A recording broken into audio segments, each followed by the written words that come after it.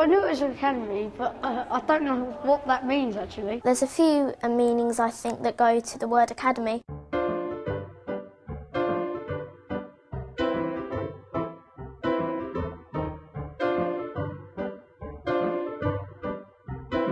Just a big school. Have you had your photos done yet? Oh, good. Did you smile? Excellent. We're at the Westlands Primary School. My name is Claire Wood and I'm Assistant Head Teacher for Inclusion at the Westlands School. But in Easter, I took on the role of Federation Development Leader, which was to develop the links between the Westlands Secondary School and what has now become the Westlands Primary School.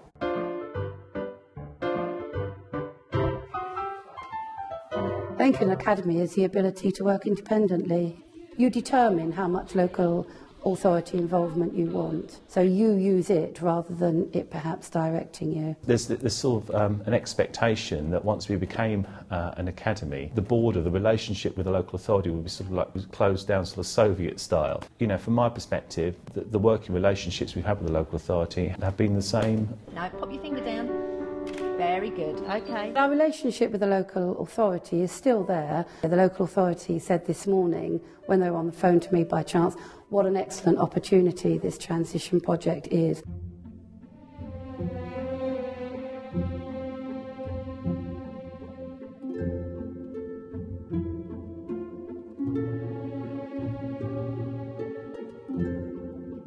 The last term, we've been going up to Westlands Secondary School for um, our maths and English. It's very interesting. You learn a lot up there. I think it's basically um, to give us a bit more uh, boost in our work. We learn a lot of rhymes and stuff with Mrs. Core. 1550 is 225, so 225 square number. I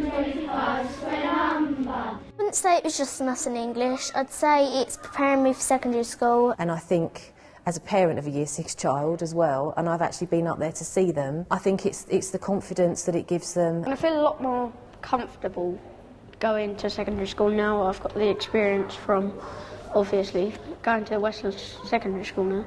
The transition sometimes to secondary school is quite tricky, so I think that's a major benefit.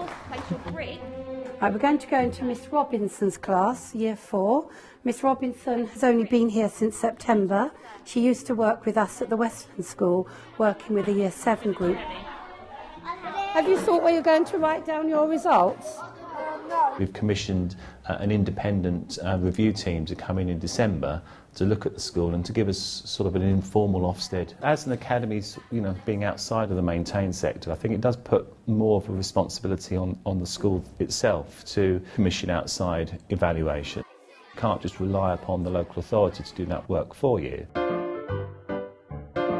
We have some quite old building stock here at Westlands that does require support. But one of the big advantages of the local authority is that it knew the school and it knew what was working, what wasn't, and you know there was a capital programme that they would have in place.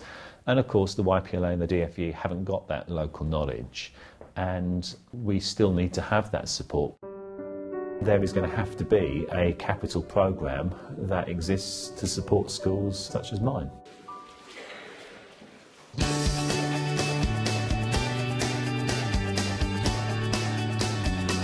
It gives you the opportunities to retain what works and to question what you don't think does work and ask yourself how you could do it better. Everybody says, uh, what are you going to change? And really, we're not changing an awful lot. We, you know, if things are working. We wouldn't throw out the baby with the bathwater. That which works at the local authority we will keep and that which we want to have and drive ourselves, it will give us the opportunity to do so.